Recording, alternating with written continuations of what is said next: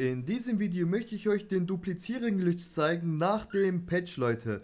Und zwar kam es bei dem alten äh, Glitch vor, dass ihr die goldenen Ether-Werkzeuge nicht exfiltrieren konntet. Also ihr hattet die am Ende des Matches nicht mehr im Rucksack. Und hier gibt es jetzt einen Fix. Und ich zeige euch jetzt, wie ihr das machen müsst. Aber Leute, vorher möchte ich einmal sagen, dass wenn dieses Video 50 Likes erreicht, werde ich wieder einen Livestream starten, in dem ich euch kostenlos den Raygun-Bauplan droppen werde. Kommen wir nun zum Video. Ihr nehmt erstmal alles mit, was ihr duplizieren wollt. Als nächstes kauft euch einen Grabstein für 2000 Punkte. Wenn ihr den Grabstein Grabstein dann habt, dann bringt euch um. Hier könnt ihr auch einfach aufgeben, gedrückt halten, Leute. Und wenn ihr dann ausgeblutet seid, dann müsst ihr einfach das Spiel verlassen. Wenn ihr eine neue Runde sucht, dann wird euer Grabstein dort sein, wo ihr letzte Runde gestorben seid. Da nehmt ihr dann die Sachen einmal raus, Leute. Mein Rucksack ist voll, darum tausche ich jetzt ein paar Sachen gegen äh, andere Sachen aus.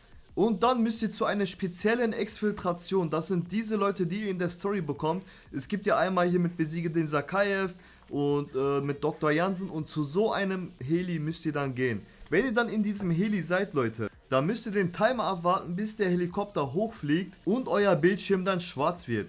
Und sobald euer Bildschirm dann schwarz geworden ist, könnt ihr die Anwendung schließen. Auf PC einfach dann Task Manager, App schließen oder Alt F4. Und wenn ihr das Spiel wieder startet, habt ihr die ganzen Sachen im Rucksack. Und um die ins Lager zu packen, müsst ihr einfach auf Tauschen drücken und mit irgendeiner Belohnung austauschen oder irgendetwas anderes herstellen, Leute. Ich kann gerade nichts mehr herstellen, ich habe überall einen Cooldown. Aber falls ihr das im Lager packen wollt, wie gesagt, entweder gegen eine Belohnung austauschen oder ihr drückt auf Tauschen und dann auf äh, Fertigungspläne und tauscht es zum Beispiel gegen Perks oder was auch immer. Aber bei mir ist halt alles zu, weil ich überall einen Cooldown drin habe.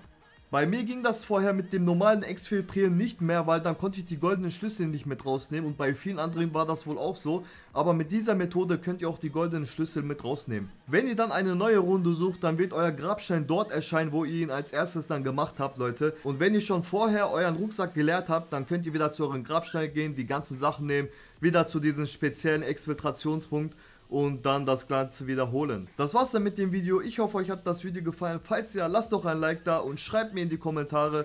Und falls ihr in Zukunft nichts mehr verpassen wollt, könnt ihr gerne ein kostenloses Abo dalassen und die Glocke aktivieren, damit ihr immer auf dem neuesten Stand bleibt und in Zukunft nichts mehr verpasst. Danke fürs Zuschauen und bis zum nächsten Video. Ciao.